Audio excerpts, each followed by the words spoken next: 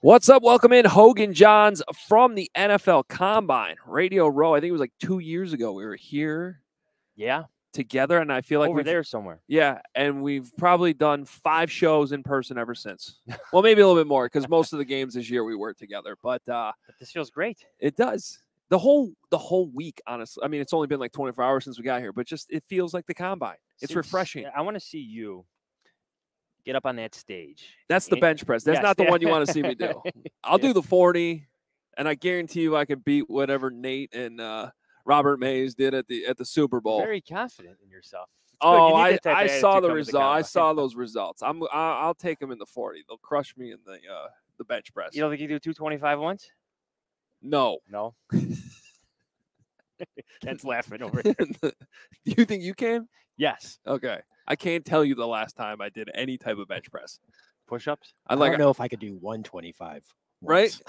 At this point, I don't know when's the last time I bench. how much pressed does the bar weigh again? 45. Yeah, 50, 45. Oh, okay. I could do like 10 of those probably. The bar? Yeah. Okay. High standards. Yeah. Now, now I'm gonna have Olin Kreutz coming after me for that. You saw the picture last week, folks. You heard about it on the podcast. Uh, That's where I wanted to start this podcast today. how yes. mean was that? Very mean. I enjoyed it. It was totally premeditated too. That photo was taken like 24 hours before I tweeted it. Oh, that's, right. We haven't talked to you since. Yeah. No, yeah, I was gone. I was in Aruba. It was amazing. And thank you to everybody who bought hats after that post. Was Obviousshirts.com, great- crushing it. Great product placement. Everybody was like, "Where can I get those?" Apparently, they don't listen to the podcast enough. Yeah, I know. when we were trying, to, but that's why you need like uh pictures and uh, all I ha- if you know if if I knew that we had to take the merch to Aruba to sell it, I would have done it a long time ago. We can go back next week. We could do it Sounds more. like a plan. I mean, come on. Uh, anyway, welcome in. Hoge and Jahns here with you. Uh, follow us on Twitter at Adam Hoge, at Adam Jahns. Uh, a lot of coverage today. You can read me at NBCSportsChicago.com. Of course, all of Johnsy's coverage. Kevin Fishbain's here as well uh, on The Athletic. TheAthletic.com slash Hoge and Jahns is where you go to subscribe to get all that. Um, and The Athletic, of course, crushing it here from Radio Row. There's more than just our content. We just saw Robert Mays and Nate Tice doing their thing on the Athletic NFL show. Um, I think there's about 100 staff members from the athletic. I know. You guys, you this college is this is your combine. teams. Yeah, yeah. All, all the NFL teams. I here. I think department's here. The bar at high velocity last night was like eighty percent the athletic. yeah, yeah. Now, That- how that much- that random? Now, uh, how much was of the that was the was the athletic paying for? We'll see. so, someone will it. uh, we had a funny bit at the Super Bowl where I was doing the rush every day for NBC Sports Chicago, and Cap ended every show that week of saying, "Hey, John Shipman says just run up the company card, everything's Yeah, good." yeah. Did you try? Um, no, thankfully, You're not trying until you, you actually Yeah, file it and see what happens. yeah, then we'll we'll see. Yeah, Super Bowl in LA, not the cheapest of No. locations. Um, all right, well, so we heard from Ryan Poles, the new general manager, the new head coach Matt Eberflus today here in Indianapolis. First time we've heard from them since their introductory press conferences. We're getting closer to like actual decisions being made. What were your takeaways? My first thought is that they, they got the same advice that Ryan Pace would get walking into this press conference. Where I'm not going to say anything. Obviously, this is a sensitive time. yeah, They both opened both their press conferences that way. And, and my immediate thought was, same advice as Ryan Pace got. yeah, yeah, yeah. That's coming here. from somebody else, yes, yes. still employed by the organization. We still tried. Well, and, and here's what I'll say. I mean, I definitely think Eberflus was really guarded in in like More so than Poles. Absolutely like like Ryan Poles still got up there and and um said some things like he was what he said about the offensive line today. I thought was was something, you know. Um now I'd still like to know more about what all that means. So when he's saying saying yeah, I, I, want to be lighter and faster. light, lighter and faster. But you know, if we had had more time, something I maybe would have questioned though is if you look at what the Kansas City Chiefs did last year, a lot of those guys they signed were not the lightest and fastest. You know, they they're um who's the I'm just blanking on his name right now. Like Joe Thuney. uh the rookie uh that had a great season. He was like one of the highest graded rookies. Oh, at- I know the, you're the talking about. center, yeah, right? Yeah, yeah. Uh Come on. He's got the do it. cool name. He's got the cool name. Anyway, people know what I'm talking about. Uh, he actually today was joking on Twitter about his own body. Creed Humphrey, thank you. Creed Humphrey was on Twitter today, like making fun of his own body. Like this is what every man should aspire for with his like big gut. And I'm like looking at this and I'm going, wait a minute, these are the guys that Ryan Poles was in on getting last year in Kansas City. So I don't know. Is it really necessary? See, when he said lighter and faster, I immediately thought of Sam Mustipher, who tried to get bigger and I don't know, maybe a little bit Did the opposite. Yeah, But that was like the conversation they had about adding bulk and mass to Sam Mustipher so he could handle bigger defensive linemen because he was too small in the evaluation that Juan Castillo had of him. So yeah. is he on the outs? Is Ryan Poles going to be looking for potential free agents in that position? That's what I thought. Well, the bottom line is, regardless of you know how much in the weeds you want to get with the body fat and the mass index and all that, um, change is coming on the O line. Like that was very clear to me today. So either you're going to stick around and you're going to change your body, or you're going to be gone and we're going to bring in new offensive linemen that fit more of that Yeah. mold. so much of it is trying to interpret what they're saying, right? And I came away with the impression that he liked some of the younger offensive linemen. Now, who that is can be debated, but I think probably Larry Borom and Teven, Teven Jenkins. Jenkins. and maybe even James Daniels, who's what, 25, 26 years old. Yeah. But didn't we just have that conversation about him a couple years ago about adding bulk and mass and being a bit heavier? Different philosophies here. like I like James Daniels, but you know, in, in depending on who you talk to, there's different opinions on it. And I hopefully when I leave here in India, you have a, maybe a better idea because this is where some of those conversations about money start to happen and where guys fall in the pecking order. But like, if he's going to get ten million dollars a year, like, has he really shown enough so far in his career to command No, that? no. Or is that just and as Ryan Poles admitted today, like you're always overpaying in free agency, regardless. always. You're always overpaying. And we've seen that specifically with the guard market. Yes. Guards have gotten big, big contracts. You can It's- argue they overpaid Cody Whitehair, and that was a Yeah. re-sign. Yeah, yeah. Um, well, he hasn't played up to the Pro Bowl projections they had for him at one point. I don't think they exist anymore because the regime is out. But Yeah. Yeah, Cody Whitehair's career trajectory has changed over the past few years. Well, he's been very solid and very consistent, really, until this past season, and then all of a When sudden, you sign a guy like that, you want better than solid and consistent. right, right, You want dominant. uh, right, and that's the one thing that they really haven't had on any of their O line positions for a while. I mean, that goes back to the Charles Leno Jr. arguments, and he had a great season. He goes to Washington, but like, still, where's the dominant, like Quenton Yeah. Nelson type Yeah, O at least one of those. You guys. need one of them. And, and I get it. It's well, speaking of free agency, it's supply and demand, right? There's not enough good offensive tackles in the league. How often have we heard here that the the transition for offensive linemen is just different now because of what they're doing in off in offenses in college, right? It's just different. The, It- it is. it, it is, and, and it's affected the NFL evaluations, and it's affected the developmental pass of some of these guys. But I, I don't know. Look at James Daniels, 25, 26 years old. You got to start somewhere. Got to start somewhere. So those conversations start here. I almost wonder if that's why you're seeing some guys.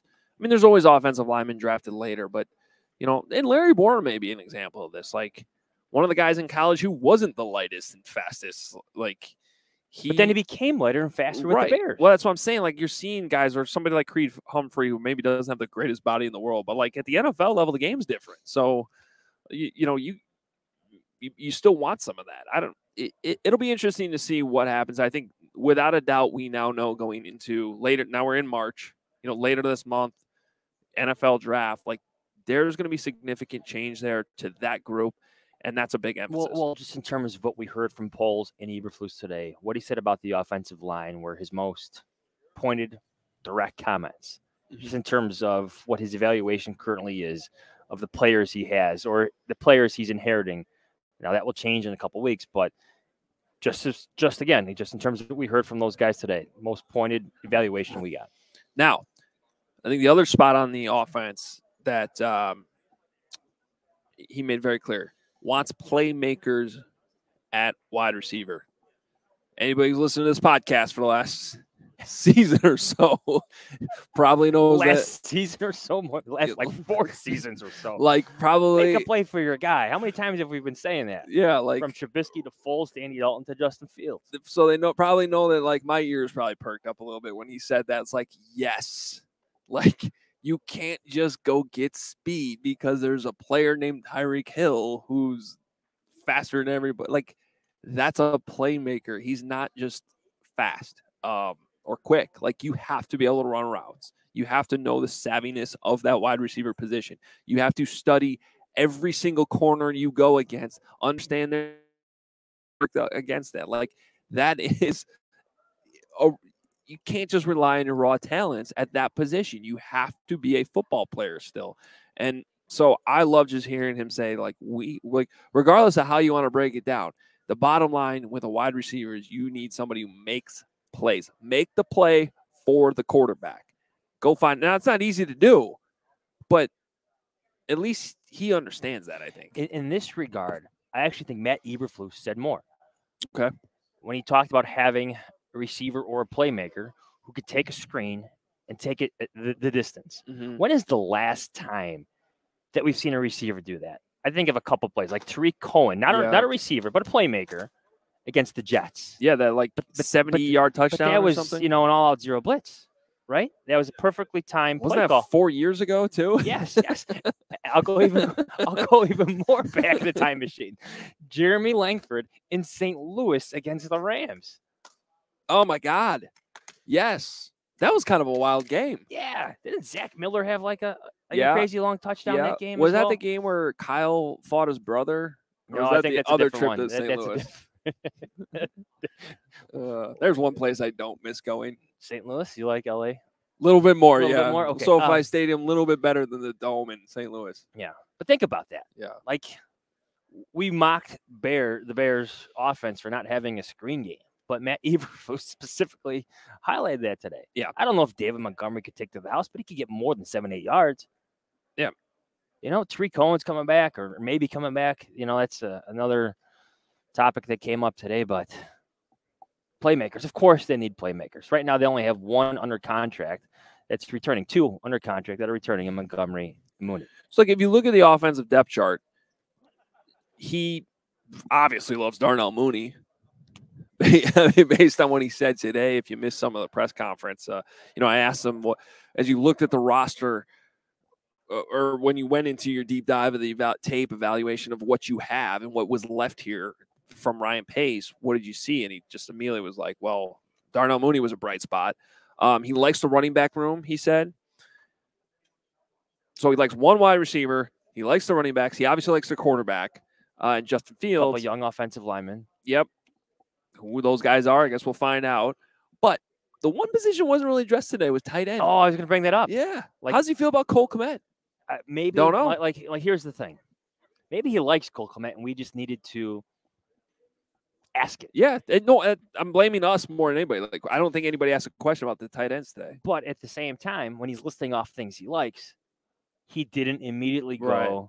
to Cole Kmet. Red flag, I don't know. Brown flag, orange flag, orange flag. What's a brown flag? I don't know. What's the what's the lifeguarding rules like on, on a beach? Yellow. It's Yellow, yellow. okay. Green, yellow, red. The Alright. red's the beach. Yellow, Beach is closed. yellow, yellow flag. Yeah, yellow. Okay. Like I, I think um like who's got a red flag right now? Like uh Darius Byrd, Damiere Byrd. I can't even get his name right after a year. That's yeah. that's my respect for the wide receivers. No, I don't mean that. Can't even get his name Yeah, right. Yeah, but that that stood out to me. The him not listing Cole Kmet's name, who was the what forty fifth overall pick? No, was that? Yeah, he's forty fifth overall. Yeah. Correct. 30th, Yeah. I mean, he's a key piece of this. you would think. I mean, it didn't it didn't work out with Adam Shaheen. Think about those like so then you're signing Trey Burton, that didn't work out. Then you're drafting another tight end in the second round because you still don't have a tight end. Like that that's a piece that has to work. Now, I I still like Cole Kmet. And like at the end of the season, like he had um was he still like top six or something in tight end catches? He just didn't have the touchdowns. Mhm. So they, but that's the whole team. Well- like they got to find the end zone. Well, when Poles and Eberflus were talking about having playmakers, not only could you know be game breakers, but those who are dependable for your quarterback. Mm-hmm. guys Justin Fields can count on. I think of Cole Kmet. I thought of their chemistry. Uh, I, but he- but here's the thing. So I'm trying to picture like if I'm Ryan Poles and I'm watching this tape, kind of not for the first time, but you know, mostly for the first time. Like, you know, you have somebody in your staff. Give me all of Cole Kmet's plays, targets from the season, and I'm watching. I'm watching. Okay, pretty good route runner, gets open, makes some good plays, can kind of be a volume guy. Um, pretty dependable, I think, as a blocker. Separation's not there. How many tough catches though were kind of left out there? Like Oh, I know what you're talking there's about. Yeah. probably a handful of plays this season, balls that went Cole Kmet's way, way that if he made the same catch that Jesper Horsted made in Las Vegas, you know what I'm talking about? Like that Yeah. incredible catch with like no room. Um, you know, I'm not saying like a game or two may have gone the other way, but there those were some missed opportunities that were left out there in the field. That if I'm this new GM watching this, I'm going, man, I like this guy, but I need to see him start making these plays, help the Now, we saw out." some of that as a rookie. I think of the wheel route down the the left sideline. I forget who they were playing, but you know what I'm talking about. It was Mhm. like a 45 yard completion. Yeah. where he went over the, the defensive back. Like he's he's done it. Here's another point though. If if you're evaluating the tight end position and you're looking at Jesper Horsted and you're thinking like, where the hell has this guy been all year? Yeah, yeah. like, yeah. wasn't that part of the conversation we had last year? Like this guy, And some of those guys, plays. some of those guys are interesting to me with a new GM and a new coaching staff because you know he's been here for a while, Jesper Horsted, and does does does a new coaching staff look at him maybe a little bit differently as somebody that just needs more of an opportunity. Same thing on the defensive side. Like one of the key guys on defense, I'm very curious about because cornerback is obviously a, a big position to need. Like, what do these guys think about Thomas Graham Jr.? Yeah. Because was that just a flash in the pan for one game, or is that somebody who was just totally underutilized his entire rookie season? I have no idea yeah, right now. Yeah, well, I that's where really you have don't. to go to the practice tapes that are still available to them at House. Yeah. Um, but you're, there's only so much you're going to learn from those tapes. Like you, y- y- he's got that one tape. Um, that was the Vikings game, right? The Monday nighter when the whole secondary was out, and uh, it was an amazing performance for a guy making his NFL debut. And then they just like kicked him back to the curb. yeah. You yeah. know, well, he got beat by uh, DK Metcalf in Seattle. Oh, I mean, it's a mismatch to begin with. I mean, DK Yeah. Metcalf beats a lot of guys. You think if I got on the bench press a little bit, then I He beat you on that. Yeah, he, he- beat you on Yeah. that. But DK that, like, Metcalf is ridiculous. he definitely beat you on that. But that's another like, just in terms of uh, the points that Eberflus and Fol- Foles, Foles, Foles, Poles, Poles, pace, yeah, Foles. yes, oh, blending together. Word salad coming out of my mouth right now. Oh, But I, just hey, in my lead today, I, I started writing new new Bears general manager Ryan Pace. Whoop, Ooh. delete, delete, delete. Poles. back to 2015, still in the time machine. Yeah. Um, but just thinking about their their message about fresh start. What what what was Eberflus's exact words like? Uh, like fresh grass for them or something like that. Yeah, It's back of the grass, like yeah. I Like thought I was thinking about Chuck Pagano. Pagano. That's the the uh, the um, just the That- Indy. that's it's old- an indie thing. that's old grass. Yeah. This is you know this is new grass. But how many of I- these I- guys are really going to get fresh starts? Guess he hasn't Like, been to Soldier Field yet. Yeah. By the way, bad grass, bad grass, holes in grass, uh, sand and grass. We Halas is nice. The Yeah. fields at Halas are perfect. Yeah, better than Soldier Field. Yeah. Um, but like, how does that really apply? Like, I don't know if Allen Robinson's getting a fresh start. Yeah, I don't think Akiem Hicks is getting a fresh start. Does uh, does Khalil Mack truly get a fresh start? Robert Quinn. Um, No, but you, okay, let's talk about Allen here for a second. Actually, Allen Robinson, because his name came up here, and this is always something I've been wondering. You know, all the ill will that he probably has, and we know it's there. We've talked about on the podcast. There's that whole thing with the tweets a couple weeks ago. You know, with his targets, share, and everything. It is a new regime. Like it, like everybody's new here. So if there's a like let me give you a hypothetical if there's a situation where maybe he's a guy like ryan poles likes and and he says you know uh, if we could put all this yeah. behind he talked about communication which was something we learned after the season that there really wasn't communication with uh i don't know was that in your story or a different story i can't Yeah, a keep 'em different all- story. i can't it's keep him some all other podcast. track. Allen Robinson was on. Yeah. but he yeah he basically said oh it was oh you had the mitch thing and then he basically had a similar story where like he was like there was just no communication Yeah. what happened there so if they can repair that and now you're not franchise tagging him. That's way too much No. money for a guy that didn't produce last year. And he's going to hit the open market. And but I don't know what the open market's going to be like for him anymore. So if all of that gets repaired, I think Allen actually liked being in Chicago. Um, regardless of all, everything that happened on the football field in the last year, you know, is there a door open? I don't know. I don't know. Maybe Would a you window. Would you consider that even if you're the Bears? Well, it, it depends on where he's. what if it's a one year deal? Well, yeah, maybe how much? 10 million, 12 million? He's not going for that, though. But he might have. Is someone else out there offering more? Y- eh, Free agency, eh, someone will overpay. Yeah. Well, well here, here's what I would say. Where is he on your list? Is he below DJ Chark? Is he below Michael Gallup? Maybe Chris Godwin is number one. But all those guys I just talked about, they're all coming off serious injuries. Yeah, Godwin's Just got like- the late injury yes, too. just like Robinson was. a Otherwise, years ago. Godwin would be a guy I would sign right away. Yeah, but yeah, talk about a game changer. But like, you're right. It's it's a kind of a unique receiver market because of those injuries, where I think you have to entertain the possibility of bringing him back if he wants to be here. But Robinson should play hardball. This is a very important contract for him. Like his career's, I don't want to say hanging in a balance, but like his next contract is, is what he's looking at. Like, where's the best situation for Allen Robinson to have that next big season? Well, and I don't know if it's in Chicago. And here's another big question I have, like because like he and Justin Fields didn't necessarily hit it off in terms of production on the field, but I I keep going back to I don't know if you remember this. It was a press conference. I want to say in late later August. We were getting deeper into training camp preseason. Um, when we were having all the conversation about should Justin be playing more, should be getting more reps, and Allen Robinson like went out of his way to praise Justin Yeah. like like in a way that was almost odd because you know Allen Robinson understands what's going on in the media and he understands like Andy Dalton's under fire and that him throwing all of his support at Justin Fields is only going to fuel that fire more. And yet he did it. So like what like does he look at like he just doesn't have chemistry with Justin Fields why would he come back or does he believe in Justin Fields and think that that was all more on the coaching staff? Because like if there's a situation where like is Allen Robinson a wave one free agent? Is he in that? Well, I don't know this year. I, I don't know. So if he's sitting there in that second wave or even that third wave and he doesn't like the long term offers he's getting and you're willing to throw 12 13 million dollars at him for one year or something like that like i just wonder if that's i i would call all of this unlikely but it's something that i would probably say if it happened i would throw my support behind it and say that's a, probably a pretty good move and uh, i wonder if i wonder if there's still like a small percentage I chance just- that that could happen I'll just go back to what Eberflus said. The receiver, the playmaker that can take the short screen and go the distance. Is that Allen Robinson?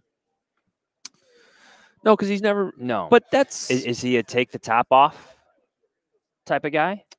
No. uh, but that's where, he, yeah, I mean, and then we heard Poles talk about how like the number one receiver should be able to do it, or that was Eberflus, right? Right. You know, the number one guy should be able to do it all. Can he do it all? He can, but just not to the level of like the top level wide receiver, which was always the Bears' issue with throwing all the money at him that he wanted. Yeah. You know, he's. But even as much as as good as Darnell Mooney is, like I think Allen Robinson's still a better overall wide receiver. than Darnell Mooney? Yeah. Yeah, but I mean Mooney could surpass him soon. But I I still think like Mooney's ceiling is still in kind of that same area where like it's that fringe one or two guy. Yeah, but you have a couple wide receiver twos. Ah, That's the Yeah, and they yeah. really do need that guy who can do it all. I can tell you one thing though, they're not the only team down here talking about adding playmakers. Right. I mean, it's a common refrain from all these teams. When Chris Ballard was like yelling into his microphone, Yeah, he during- was yelling. during Brett Veach's press conference. like he was talking about adding playmakers. Like, how we need more playmakers. uh, and uh, he made it very clear how he feels about Carson Wentz. Yeah, Uh, I don't think Carson Wentz is coming back. yeah. Just Indy. just to paint everybody the Yeah. picture, if you're watching or listening, they have these press conferences that run next to each other. yeah. And for some reason, Chris Ballard's mic was like turned all the way up. Was it up or was he just yelling? yelling into it. yeah, I think everybody, at least from the media side of things, they got a good chuckle out of that. He's he's uh he's he's a good talker. Yeah. JJ Stankevitz is very lucky. Yeah, and he's got that Texas accent too. Yeah, where yeah, it's like, yeah. oh, yeah. Yeah. No, I like Chris Ballard. Uh, oh, that- we know, we know. Yeah, we've, yeah, we made know. that very well established on this podcast. Yeah, yeah, yeah. I didn't go to Chris Ballard's presser. I just caught some of it Everybody was- went to Chris Ballard's press well, I heard it up in the upstairs. Yeah. Could hear it from there. Ah, So yeah, you got to have fun. yeah, You got to have fun. Um, with Eberflus today, you had to like dig a little bit more for specifics that aren't necessarily like headline grabbers today, but things that you will be able to reference later. Like I just, I loved his football answer to what do you want from your three technique. It was just very simple.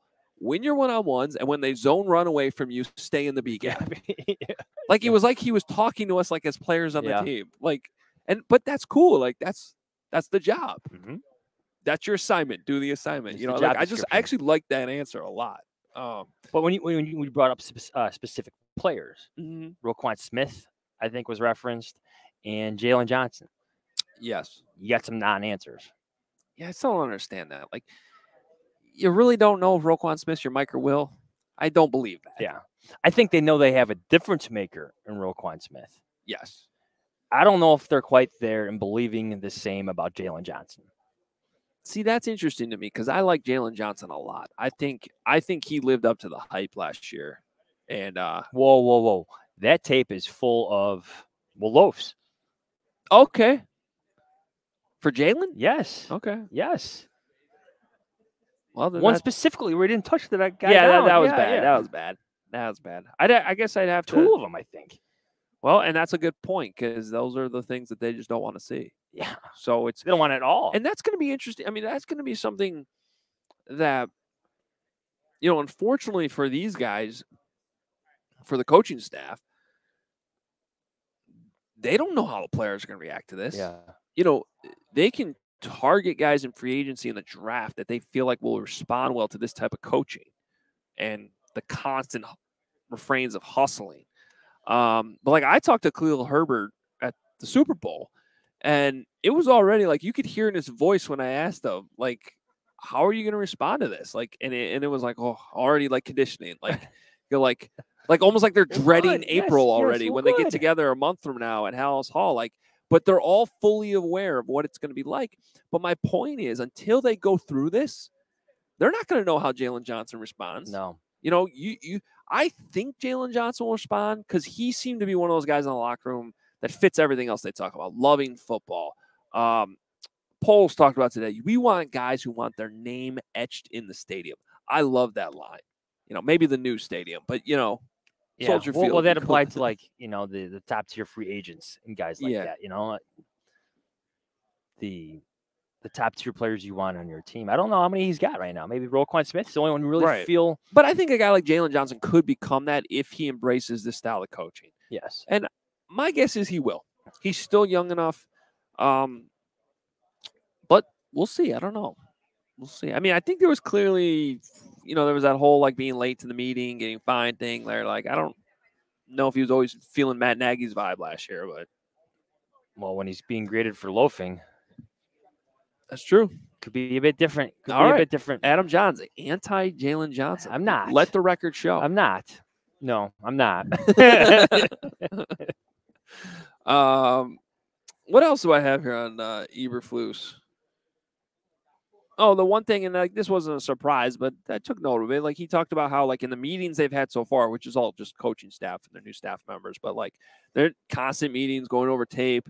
Um, he said they've been having these in the morning. Like he's been kind of switching between all three phases. Yeah. you know, he's and and that's what something we talked about a lot in the coaching search, being that CEO type uh, coach. And granted, we're not in there, we're not seeing it, but he kind of unprovoked brought that up today. Is like kind of how he's been handling it, and I think that that's a good. They've thing. also created these player profiles like on tape Mhm. of certain player characteristics that they're targeting uh, that applies to free agency and the draft. Now, this is all well and fine. Every team has their different process a- and whatnot. You know, Poles has been through different evaluations, grade grading scales and whatnot. Well, and you use the term term like Bears fit today. Yeah, To- like that's something Pace, Pace had. has. Yeah, yeah, they- yeah. You look that's for five new. characteristics and stuff But like what's that. yeah. interesting about that is a lot of the scouting staff's the same. Yes. So you know, that may actually be some of Poles um, adjusting to what's already in place. Because you know, for our listeners who might not know this, like the, this, we've had all this coaching turnover,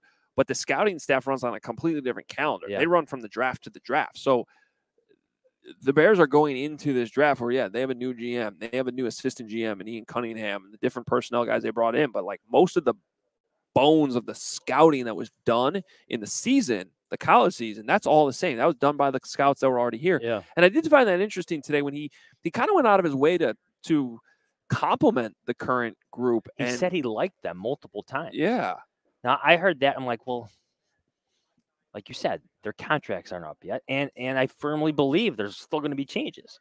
oh, there will be. Yeah, There there, will be. always are. Well, and he's probably, but he's probably also gelled with a few of them. Yeah, You know, some- fair. That's You, fair. you know, and they, Some of these guys have survived, like he did in Kansas City. Yeah, that multiple happens.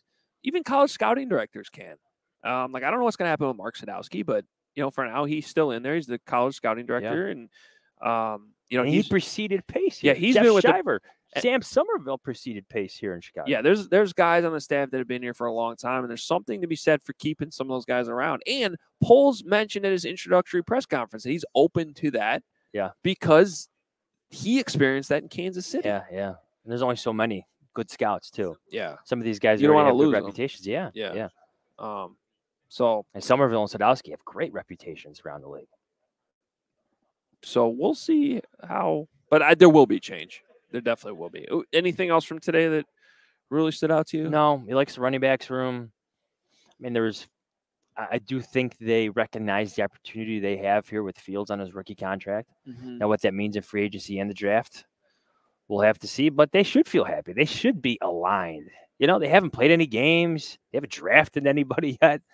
No free agency. You know, free agency hasn't technically open yet. No one has They- spurned them yet. They signed Joe Thomas today. Who's that? Like the the, the tackle? Yeah, the Hall of Fame left tackle Oh, good. who played ten straight years. Now he uh, lost. No, no, no, he lost weight.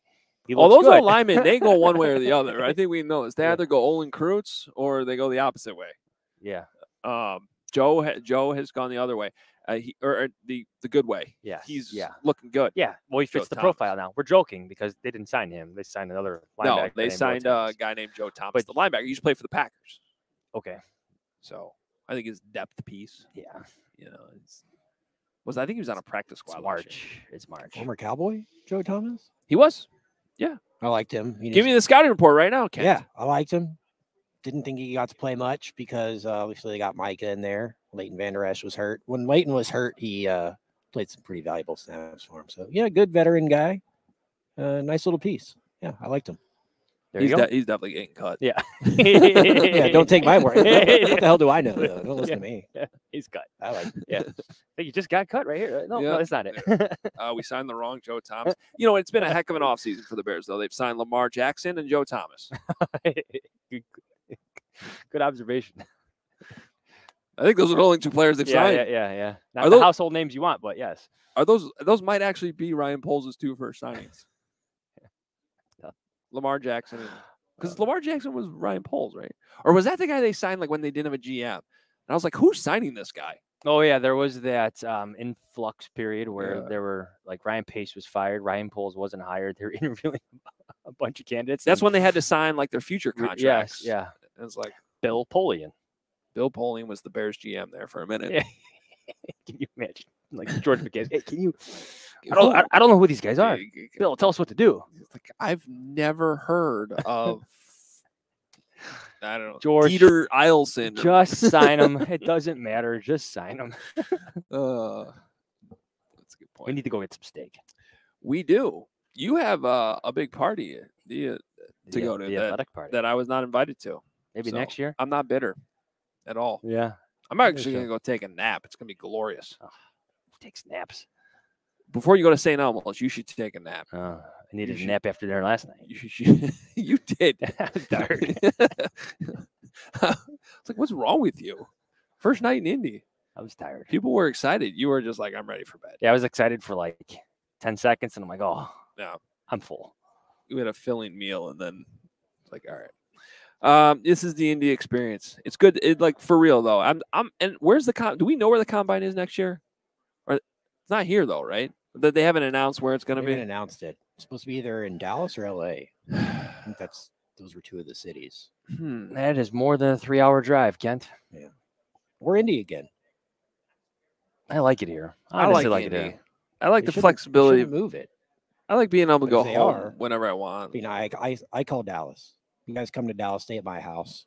We'll eat some bar- eat some barbecue. It'll be great. I will come to go. Dallas. I won't stay at your house. I will eat a, Oh. your barbecue. Okay. Yep.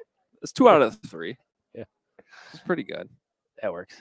I haven't been to Dallas. We're going to Dallas this year. Well, the Arlington. Arlington, Dallas. What did? Yeah, the Arlington area. could be two teams in Arlington. Uh, wait, what? See what I did there? Arlington Park. Heights. Oh, yeah, yeah, yeah, Heights. yeah. No. Too soon. Not if the mayor has anything to say about it. They're moving. Yeah. Good luck with that. All right. Uh, we should get out of here. Good stuff today. Though we'll be back Thursday. I think Kevin Fishbain will be here with that Yeah, we'll see. too. I don't know. He doesn't like doing podcasts with me anymore. No, Apparently. is big time. He, Yeah. yeah, he wants his own show. I gave him one last chance. I said, "Hey, you look like you're done with your writing. You want to come do the podcast?" No, I'm good. No, he said he want to go sit in his room for a little bit, like he got in trouble or something. He's just mad still about my tweet last week, probably. That's all right. Uh, to see those tweets, they're on uh, at Adam Hoge. He's at, at Adam Jahns. You can follow us on Twitter, read our work, NBCSportsChicago.com, The Athletic, TheAthletic.com slash Hoge and Jahns. Please do subscribe. Uh, find us on YouTube. If you're just listening, you want to check out what this uh what the uh bench press behind us all looks like. See Andy Reid's face on a TV over there. Um, you can find us on YouTube and subscribe. Please hit the notification button so you know when we go live. And we'll be back Thursday uh, with another episode from Indianapolis, right here. obviousshirts.com, where all the merch is as well. We will talk to you Thursday. See ya.